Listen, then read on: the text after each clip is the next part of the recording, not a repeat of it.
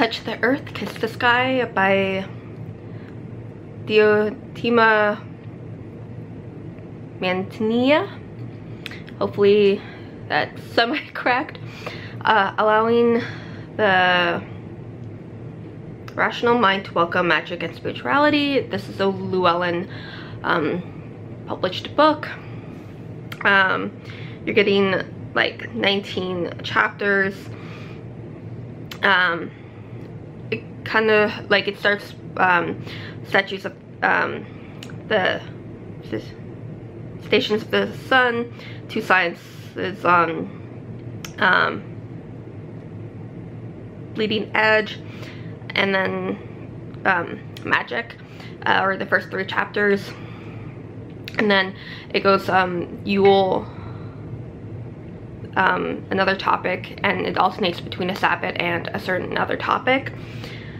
Um, the author is an astrologer, so um, you kind of get that influence in the book. Um, re the resources at the end of the chapters are like top the topic topic specific um, to that chapter, which is um, good.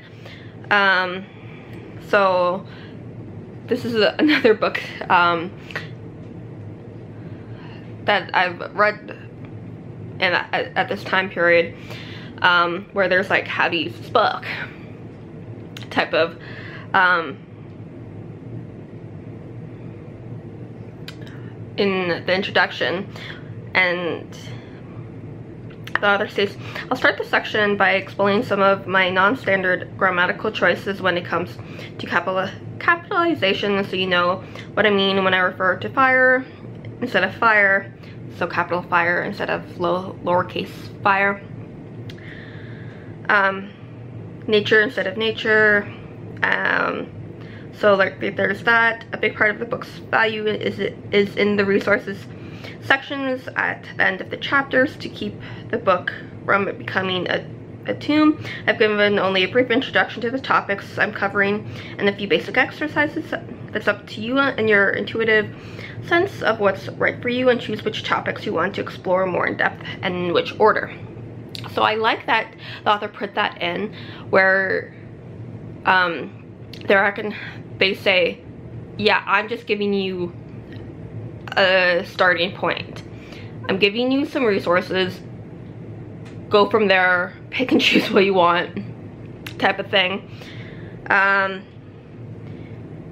and the author recognized, um, states that um, I've organized this book around the eight divisions of the year that are scaffolding for of quite a few modern pagan traditions.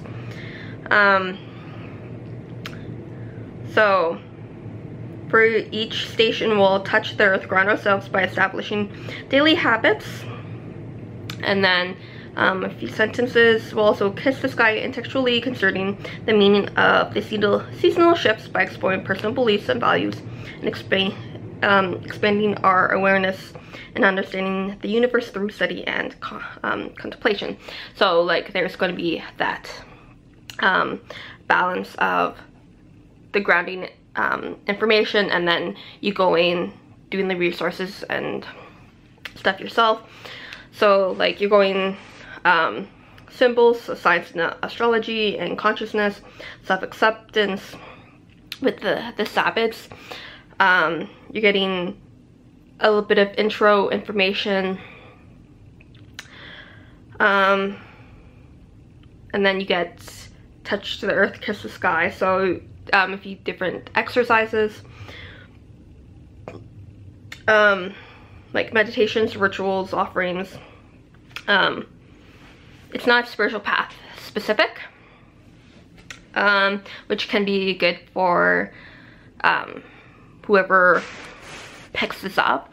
So it's not just green like a certain branch of Wicca or um, if you're a kitchen witch, it's not kitchen witch specific. Um,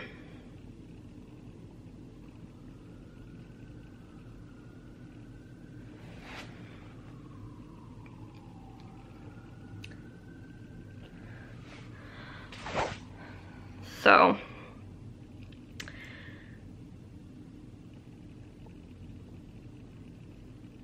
science on the bleeding edge. Um, scientists and priests do not, cannot have all answers to the mystery, mysteries of, of life on Earth.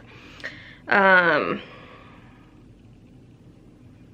so, like, with the Sabbaths, you get some, a few pages of healing, um, and then like touch the earth, you get um, a few different, um, some short, some longer um, things to consider, and um,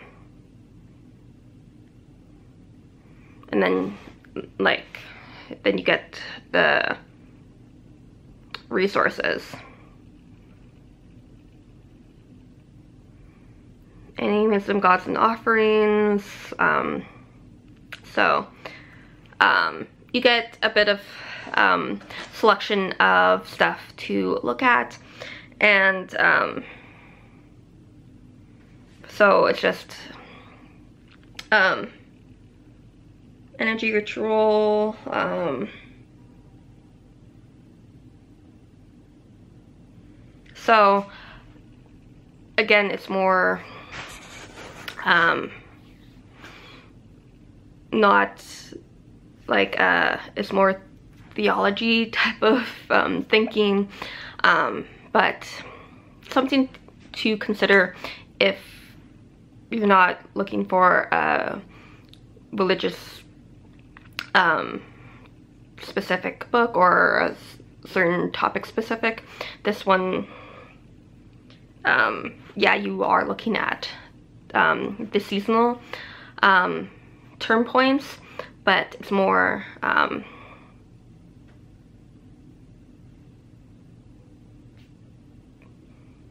I want to say theology, but um, others might use something else. But yeah, um, touch the earth, kiss the sky. Happy readings.